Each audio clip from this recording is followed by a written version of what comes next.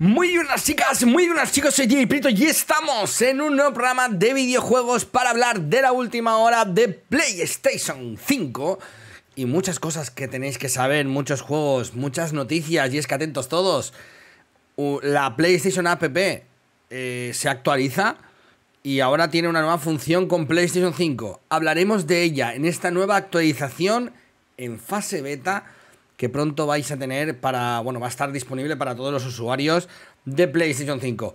Además, como os dije en vídeos anteriores, Diane Light obtiene la clasificación ESRB para PlayStation 5 y Xbox Series X y S, y esto quiere decir que hay una versión nativa Next Gen del primer juego, no un parche.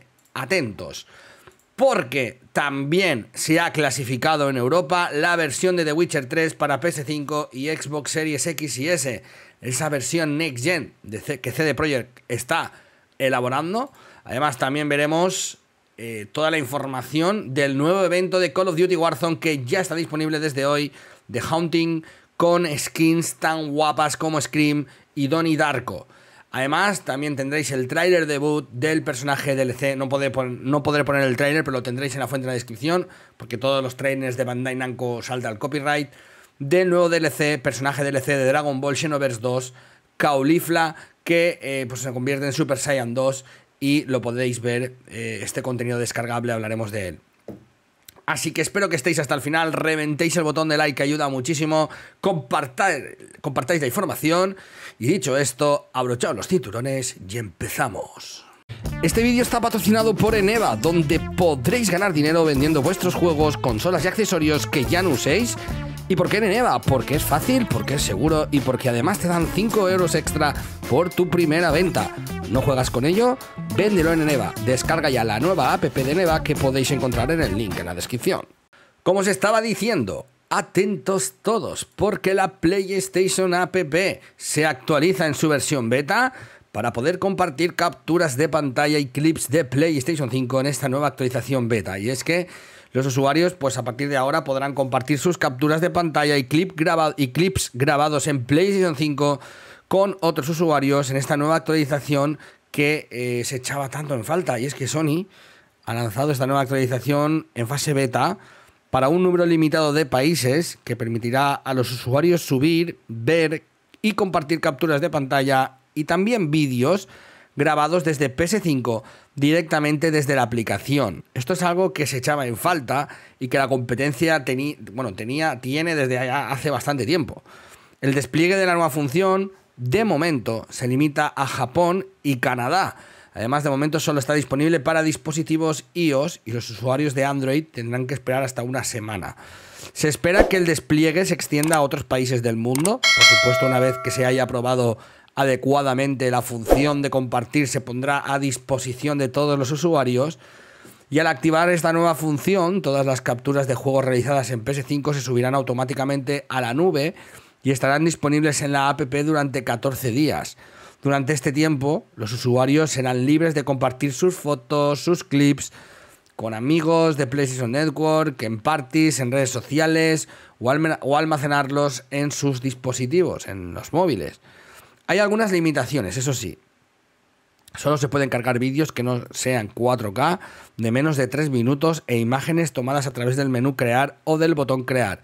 Sin embargo, no se descarta que estos límites no se amplíen en un futuro, pero habrá que esperar a futuras actualizaciones ya que todo esto pues está como, pues, como lo he dicho, ¿no? está en fase beta. Irán, cuando vayan ampliándose a más países y tal, pues irá mejorándose esta aplicación. Pero bueno, es bueno ver que PlayStation está mejorando, ¿no? La aplicación también de, pues bueno, esa compenetración entre consola y app, ¿no? Y ahora, atentos, porque hablamos de Dying Light, que obtiene la clasificación ESRB para PS5 y Xbox Series X y S.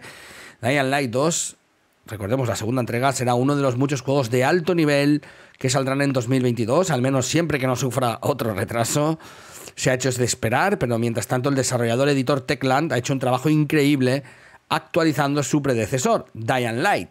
Este juego recibió una cantidad inaudita de apoyo tras su lanzamiento y parece que va a recibir todavía más, ya que se ha confirmado que están trabajando en un parche para la próxima generación. Sin embargo, ahora parece que podría ser todavía más. Un, listado anterior del juego en el sitio web oficial de la ESRB que puedes ver en la fuente en la descripción incluye ahora una versión para PS5 y Xbox Series X y S. Este es el mismo listado que apareció para una versión de Switch poco antes de que se anunciara que el juego llegaría a la plataforma a través de una edición Platinum. Y esto podría indicar que después de todo no se trate de un simple trabajo de un parche y que posiblemente se trate de versiones nativas completas para la consola de nueva generación, con todo lo que ello conlleva. Dying Light ya está disponible en PS4, One y PC y la versión para Switch llegará en diciembre. Dying Light 2 Stay Human, la secuela, se lanzará en todas esas plataformas junto con PS5 y Xbox Series X y S. Y esto, señores y señoras, es una gran noticia, desde luego, porque, porque están trabajando, se lo están currando, desde luego Teclan, chapó. Y ahora, atentos, la vuelta de The Witcher 3, esta vez para PS5 y Xbox Series X y S, está a la vuelta de la esquina. Su versión Next Gen ha sido clasificada en Europa. Podéis ver la prueba en el tercer enlace en la descripción. La versión Next Gen de The Witcher 3 para PS5, Xbox Series X y S ha sido calificada hoy en Europa por la PAN Europea Game Information, básicamente la PEGI, lo que sugiere que se avecina más información sobre la versión Next Gen. Recordemos que en julio de este año el desarrollador CD Projekt Red anunció que la actualización para PlayStation 5, Xbox Series X y S y PC llegaría a finales de este año. No se compartió más información, pero por lo que parece, pronto se revelarán más detalles. Por lo general, los juegos reciben una clasificación por edades cerca de su lanzamiento, y con solo unos pocos meses en este año, que es lo que queda, es lógico que la versión de próxima generación reciba una clasificación. No se ha revelado mucho sobre la versión Next Gen de The Witcher 3, sin embargo sabemos que ofrecerá tiempos de carga más rápidos, además de soporte para ray tracing y mejoras visuales. Además, se ha dicho que la próxima reedición del juego de rol podría utilizar algunos mods para PC con el fin de mejorar las texturas del juego, incluyendo el popular, el popular proyecto Hulk Hogan's HD Reworked.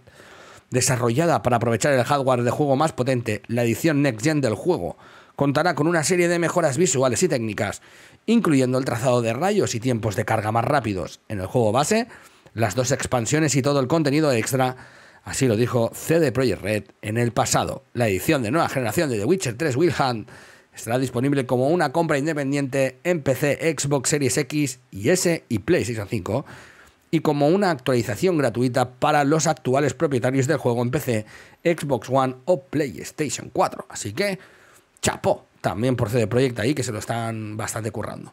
Y ahora estáis viendo en pantalla el evento de Call of Duty Warzone de Haunting con Scream, con la skin de Scream y Donnie Darko.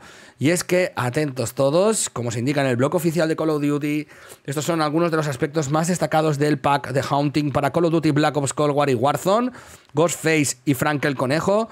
Podrás convertirte en el terror de la noche a través de sus packs disponibles por tiempo limitado. The Hounds Don't Stop With Them Pornova se convierte en la reina necro, Weber se pone la túnica del discípulo y más en la tienda, y un regalo de SMG para The Haunting, completar todos los desafíos temáticos de Warzone o Black Ops Cold War para ganar la nueva Lapa SMG. Además de estas características, Activision también ha desvelado un nuevo modo de juego que llegará a ambos juegos y que se dice como los nuevos modos multijugador y zombies que te harán sentir el espíritu de Halloween. Y en ambos juegos, al completar los desafíos de The Haunting, se desbloqueará el prototipo del APA SMG, la primera recompensa del evento de armas a distancia, que también tendrá un plano de arma único disponible en la tienda, junto con los paquetes temáticos de Halloween. Y por último, tendréis en el último enlace en la descripción el tráiler del debut del personaje DLC de Dragon Ball Xenoverse 2, Caulifla, con Super Saiyan 2. Bandai Namco y el desarrollador Dims han publicado el nuevo tráiler que es una pasada. Gracias a todos por estar ahí, reventad el botón de like y nos vemos en la siguiente. Hasta la próxima. Chao.